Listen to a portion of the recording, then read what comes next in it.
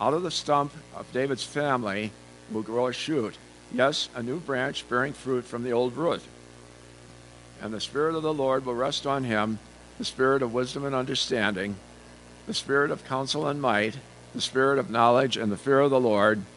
He will delight in obeying the Lord. He will not judge by appearance, nor make a decision based on hearsay. He will give justice to the poor and make fair decisions for the exploited. The earth will shake at the force of his word, and one breath from his mouth will destroy the wicked. He will wear righteousness like a belt and truth like an undergarment. In that day, the wolf and the lamb will live together. The leopard will lie down with the baby goat. The calf and the yearling will be safe with the lion, and a little child will lead them all. The cow will graze near the bear. The cub and the calf will lie down together. The, uh, the lion will eat hay like a cow. The baby will play safely near the hole of the cobra. Yes, a little child will put its hand in the nest of, a, of deadly snakes without harm. Nothing will hurt or destroy in all my holy mountain. For as the waters fill the sea, so the earth will be filled with people who know the Lord. In that day, the heir to David's throne will be a banner of salvation to all the world. The nations will rally to him, and the land where he lives will be a glorious place. So uh, I was thinking this morning as I was reading the text, or this week, about peace. And um, I want to describe a, a, peace situation in my life that it's more of a dream than a reality, but at my best Christmas Eve, uh, I'd be back in Bethlehem. Nothing against Dubuque, okay? I'm just telling you that this is the place where I'm rooted and I feel. Um, anyway, I'd be walking home from church. It'd be the Christmas Eve service, dark, cool night, uh, snow, uh, big snowflakes. You can almost hear them hitting the ground.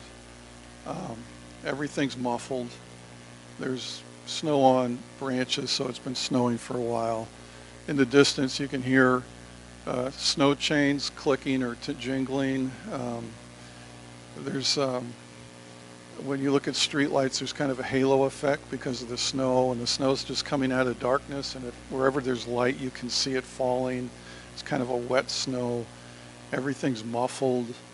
Everything's peaceful, and you just feel when you're out there walking, like, man, this is this is what maybe this is what Eden felt like, even though, you know, if you're from other parts of the world, you don't want snow. But there's just something about that sense for me that just speaks peace. Now, I know that that image is artificial because I know for me it's an experience of peace, but somewhere a crime is occurring. Somewhere someone is hurt and they're being rushed to the hospital. Life is still outside that little cocoon that I'm experiencing. Life is still going on. For me, that's peace. But it's transitory. It's not going to last. I'm either going to get home and uh, there'll be an argument in the family or uh, I, I don't know. I mean, this is just the way life is. But I don't know how many how many times have you felt that? How many times have you been blessed to have this moment of peace in some kind of circumstance where you're like, this is it. You know, this is, oh, what, what I, want this taste to continue. I want to, I want to be able to devour this, and yet it's so fleeting. It, it disappears. It's, it just dissipates into the air. It's just, you know, the snow gets dirty and ugly, and now you want it to go away. I mean,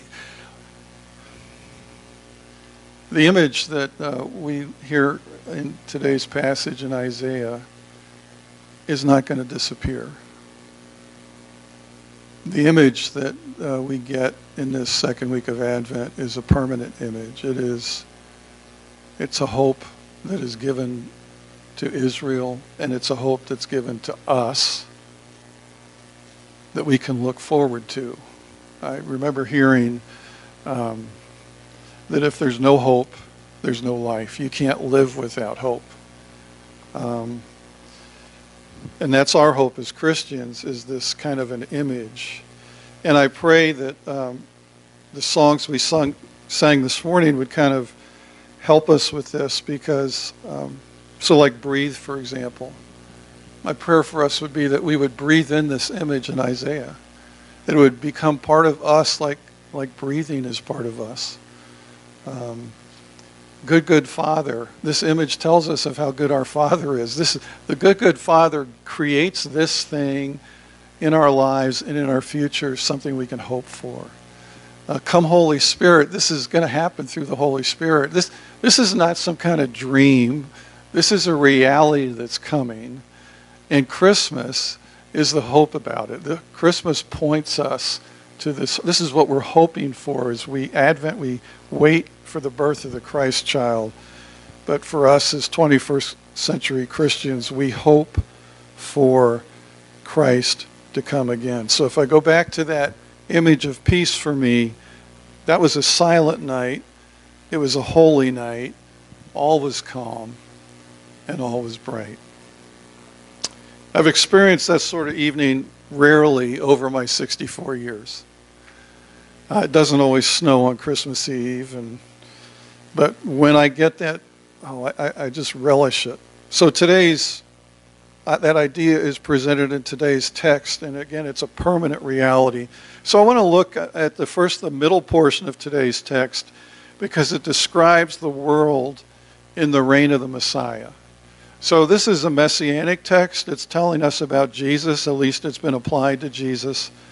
But let me let's just start with the reign. What does the world look like when the Messiah is totally 100% in charge?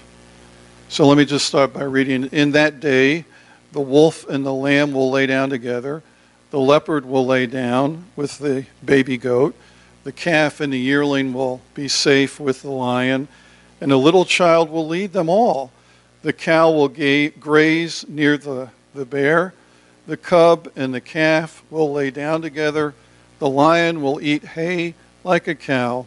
The baby will play safely near the hole of the cobra. Yes, a little child will put its hand in a nest of deadly snakes without harm domesticated animals will no longer be in danger from predators. Bears and lions will lay down with cows and sheep.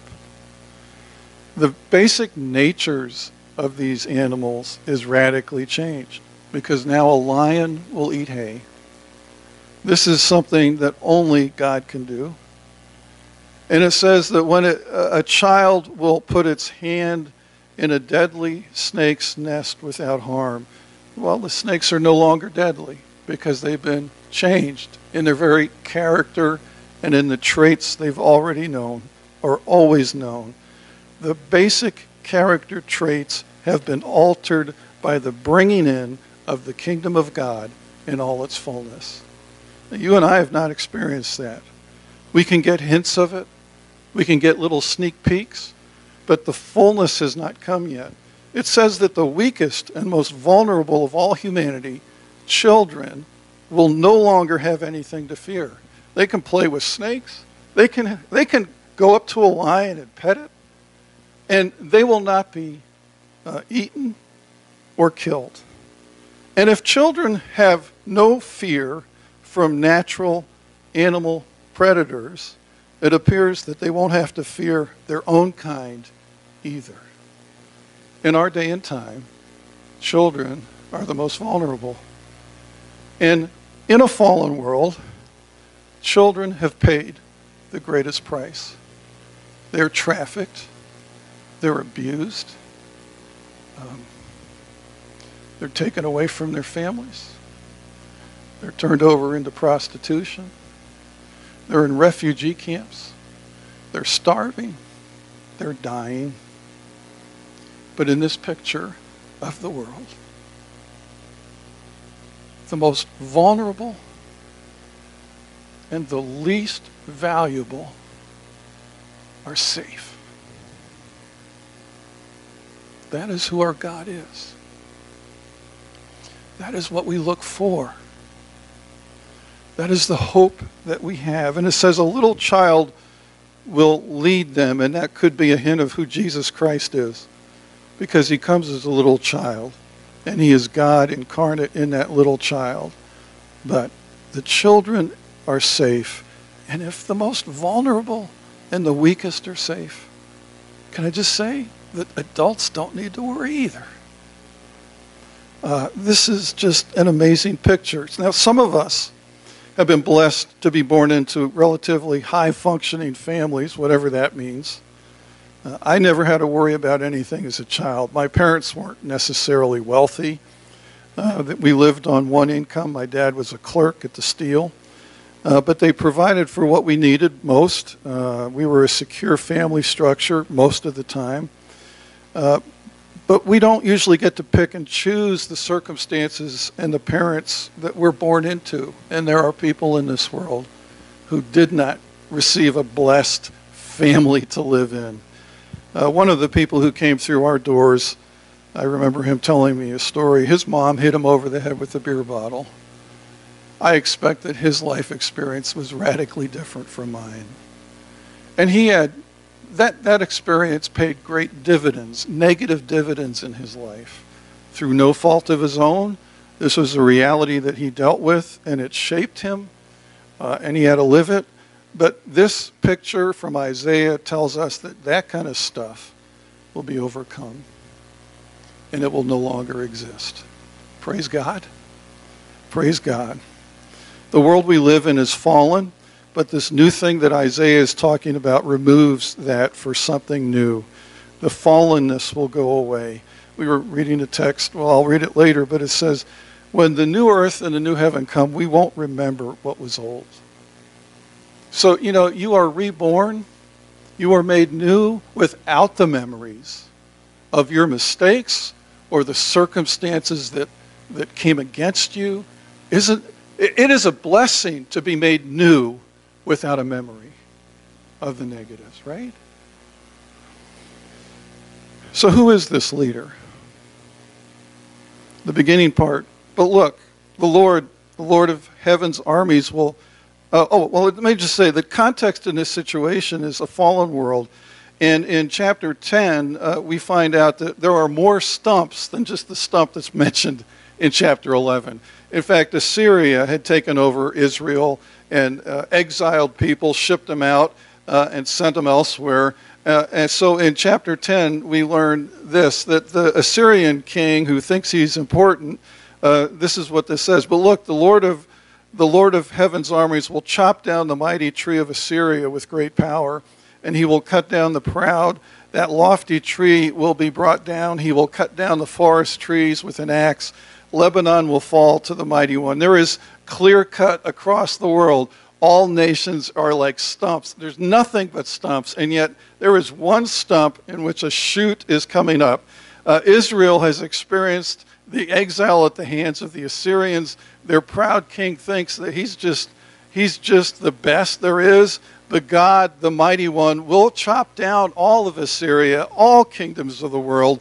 And, and there is something that new is going to happen. So out of that old stump that's Israel, there will be a shoot. It says, out of the stump of David's family will grow a shoot. Yes, a new branch bearing fruit from the old root and the Spirit of the Lord will rest on him the Spirit of wisdom and understanding, the Spirit of counsel and might, the Spirit of knowledge and the fear of the Lord. Verses 1 and 2. The old root is the promise made to Abram back in Genesis 12 I will make you into a great nation, I will bless you and make you famous. And you will be a blessing to others. I will bless those who bless you and curse those who treat you with contempt all the families of the earth will be blessed through you. From the very beginning of the call of Abram and the formation of Israel, they were to be the people of God who were a blessing to the nations. All people on earth would be blessed by them. But sin enters, as it always does, and Israel became in look, inward looking, and they not, didn't become a blessing to the nations. They only wanted to bless themselves. But it says here that our God blessed people through their association and cooperation with this family of Abram through history. Again, over time, this family ceased to be a blessing. They just looked inward. But then God acted, and in the town of Bethlehem, many, many, many years later, God sent Samuel a prophet to the family of Jesse, who was the father, and then Jesse's son, who was David, the youngest of his sons. And David was anointed king. It says in 1 Samuel So as David stood there among his brothers, Samuel took a flask of oil he had brought and anointed David with the oil, and the Spirit of the Lord came powerfully upon David from that day on. The Spirit of the Lord anointed David powerfully, and he became the most famous king of Israel to the point that all kings are, uh, are rated according to David. He is the set mark by which all other kings would be rated. But even David's tree was chopped down and there's just a stump, but there's a shoot. There's hope wrapped up in that moment of anointing. That there is something to be reborn again in this new thing that Isaiah is talking about. It says that this leader will be filled with the Spirit. Notice what the Spirit's influence is on this new leader wisdom, understanding, counsel, might, knowledge, and fear of the Lord. Wisdom, understanding, counsel, might, knowledge, and fear of the Lord. This is not, I believe, our modern conception of what being spirit endowed is all about. We expect to fall over or speak ecstatically or maybe do miracles or anything, but and yet here, the Messiah is given the power of the Holy Spirit. He's not speaking in tongues, he's not falling over, being slain in the Spirit. He has wisdom and knowledge and fear of the Lord. This is what makes him a good leader. Leadership that is uncommon in our experience and in the experience of Israel. The, these traits make him different from everything we know when we look at leaders in the ancient world and even in the world today. Verses 3 through 5 says this He will delight in the obeying of the Lord because he fears the Lord. He will delight in the obeying of the Lord. He won't grit through his teeth, I'll obey you. He delights in obeying the Lord. He wants to obey the Lord, and he will not judge by appearance nor make a decision based upon hearsay. He will give justice to the poor and make fair decisions for the exploited. The earth will shake at the force of his word, and one breath from his mouth will destroy the wicked. He will wear righteousness like a belt and truth like an undergarment. In our world right now, we don't know anything about judgment in this way. We have never experienced justice and righteousness in the way described in verses 3 through 5. And as even in our highest, best moments, we have never exercised judgment in this way. Because we have biases that infect and blind us to the way we deal with the people around us, whether we want to or not. Now, some people are more in the know of their own uh, issues and biases than others, but we all benefit from decisions based upon faulty logic or powerful relationships or many other criteria. So, for example, uh, for five years, I've run our dog, Raven. I throw frisbees, and she runs flat out as fast as she can over at the grass field at Loras College. The field is clearly marked that it's only for Loras faculty and students' use. But since I live on Henion and we have to endure uh, students going back and forth, I feel that I have a privilege that other people don't necessarily have. So for five years, I've been running our dog over there. If there's students there, I don't run her. I clean up after her. Uh, I try to protect the students. So that makes it another reason why I should be able to do it, because I take care of their grounds. I care. A month ago, the security guy came and told me I can't do this. Well, if he said I can't do it, I can't do it. Because I'm a legalist in my head. I can't break a, I know I was breaking a rule, but now that I've been informed, I can't break the rule. So I would bring her over here So a 10 minute job becomes a 20 to 40 minute job. And I said, you know what? This is just inconvenient. So I emailed Jim Collins, the president of Loras College, because I can. I know him. I've met him. We're not pals. I asked him for a favor, and he granted it. But he did say, Tim, why you and not all the other neighbors? Again, my response would be, not all the other neighbors live on Henion, and I clean up after my dog. I'm privileged. Now, Claudette's informed me the fact that I even thought about Sunday night email points out how privileged I really am. Because there's other folks who would never do that. And I will argue that I thought clearly and long about doing it, but I still did it because it's an inconvenience for me to not be able to do it. Can I just say that that's not justice? That's not righteousness. That's privilege pulling its weight. I'm not proud of that. I'm just happy I can do it. He said, sure, do it. Because my life is easier. But that's kind of how our world works. There are people who have no voice. There are people who have no connections. And maybe what they want is right, but they can't voice it, and it'll never be acted on. But that will not be in the kingdom of God.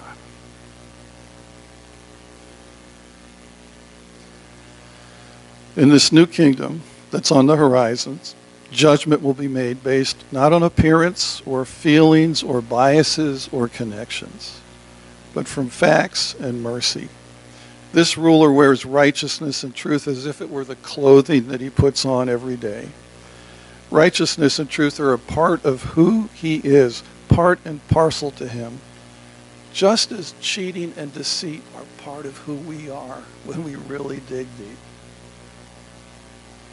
So we will they this will have indeterminable effect on the world. What what does it mean when you have a leader who leads this way, who is honest and just, and it is just in the core of their being. They are even when no one can see them, this is who they are. This is how they act. This is how they think. It it affects everybody in the world. It says here nothing will hurt or destroy in all my holy mountain.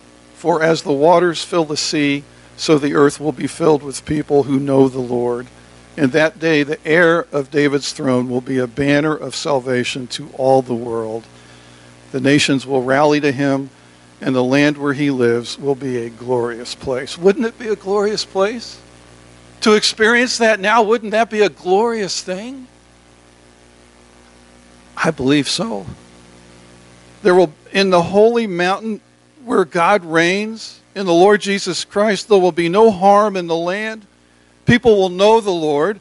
People will flock to the generous, fruitful, safe place, just as God had promised to Abram. They will be blessed. So they will be blessed when they flock to Jesus, the root of Abram and David. They will be blessed through this shoot from David's family. They will be blessed and be prosperous and be healthy and experience justice and peace and be safe. That is what Advent speaks to us about as we wait for the coming of Jesus.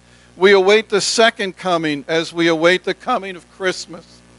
We anxiously hunger and thirst for the rule of the Lord Jesus Christ in the world and also in ourselves. Because if we're honest, we know where we break the code. And we know where we're just like the people we criticize. We, we, can, we can connect. We know, we might not believe it and we might want to hide it, but we know that we are just like the people we make accusations about. And we tire of this disease. We are tired of war and storms and prejudice and wrongful incarceration and trafficking and prostitution and refugee status and starvation. We are tired of this. And this is what Advent says. In the midst of this, we have a hope of something greater and bigger. The promise in Isaiah 11 says this is what's coming.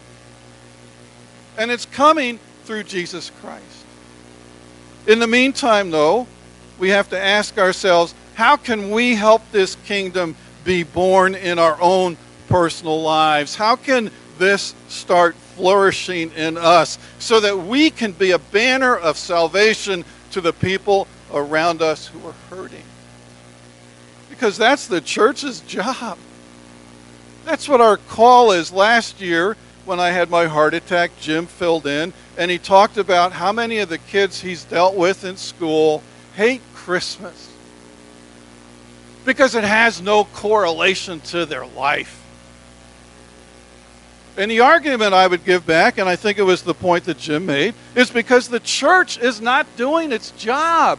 We are not a banner of salvation to people. We are come across more as a banner of judgment to people. Christ has called us to live out the Isaiah 11 picture. It, we can't do it perfectly. We need the mighty power of God. Come, Holy Spirit, good, good Father, breathe. We need it to infuse in us in new ways. But even at its best, it will not be perfect until Christ comes. But we need to be the ambassadors that Christ has called us to be. If you read through the Gospels, and we'll be hitting Matthew next week, this is what got Jesus in trouble. He refused the status quo. He refused to abide by the kingdom of this world, and instead he was a representative of the kingdom of the world to come. And that's what you and I must be. That's what you and I are called to be. That's what you and I are empowered to be. Amen?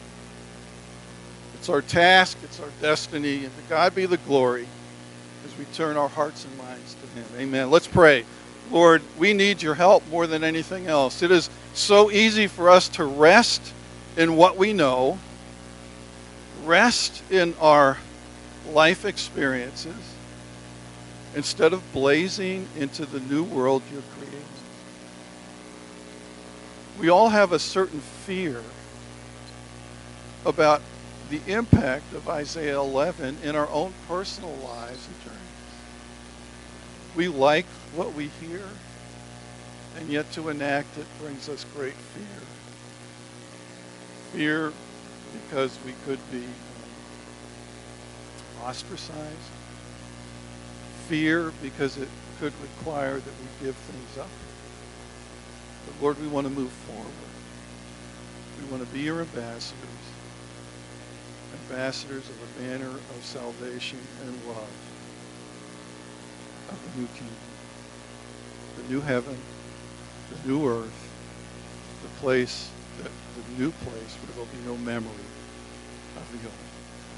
Amen. And amen.